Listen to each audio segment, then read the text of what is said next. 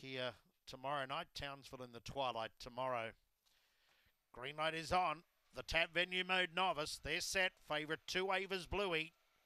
Racing Ava's Bluey about third away. Conniva Check won the start. Here comes Hester Road down the outside. They got clear of Ava's Bluey, followed by Lads Lad. Dark Distance got to the rear with Fly Out Day. Running into the back, Conniva Check the leader. Two clear over Hester Road onto the rail. To the outside was Ava's Bluey starting to warm up strongly, followed by Lads Lad. Fawn Outlaw. A long break to Dark Distance and Fly Out Day. Coming to the turn. Up goes Ava's Bluey. Takes the lead. Tonight's tonight for Ava's Bluey. Comes away. Two and a half Conniva check.